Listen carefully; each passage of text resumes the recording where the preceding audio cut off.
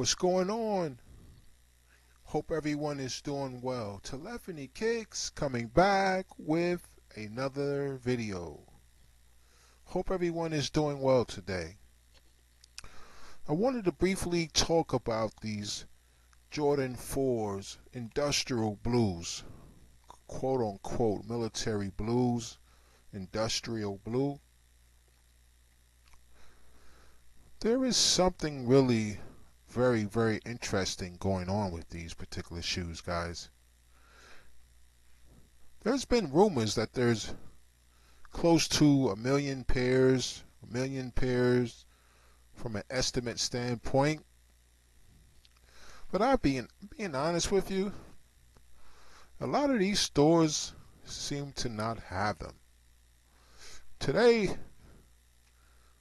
JD Sports and Finish Line, they said I had the early access to try to purchase them, right?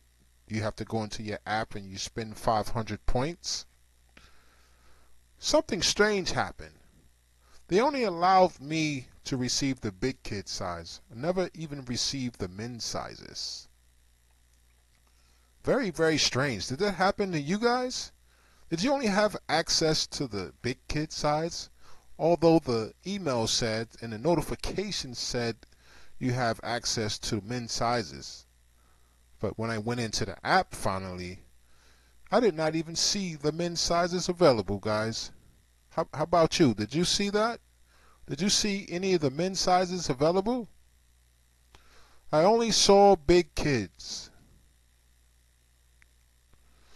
I think we got scammed, guys. I think we, man, you really got to do some legwork for the people that don't have them, you know, not able to win them yet. Because I tell you, boy, you have to do a lot of legwork on these guys.